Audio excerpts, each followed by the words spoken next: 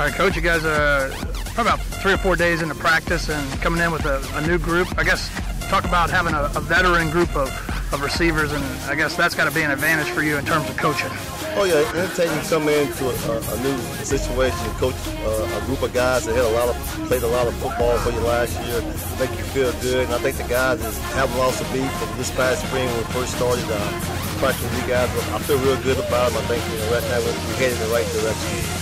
Now, when you, you look at the veterans that you got coming back, have you seen any of those guys kind of make strides from even the spring to this year that, that you're looking for maybe even have a bigger year than they had last season?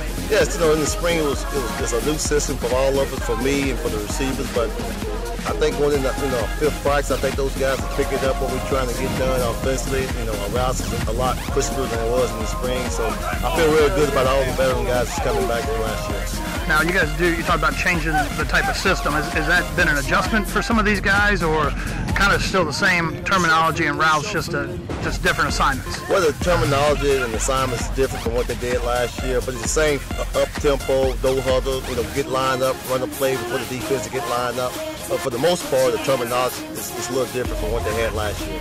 I know you're only five practices in, but have you seen some some young guys that you kind of like that you think might be able to have an opportunity to break in there this year? Well, you know, you know, you, you got Draper coming back, got Gober coming back, AT coming back, uh, Trey Pendergrass and Trey Milton and Matt Christensen and uh, Allison Bounds. So pretty much, you know, we got a veteran group coming back. When we look at the young guys, most of our young guys are guys we just coming in for, for the first time, our freshmen. So right now it's still early with the young guys, but I feel real good about the veteran guys coming back.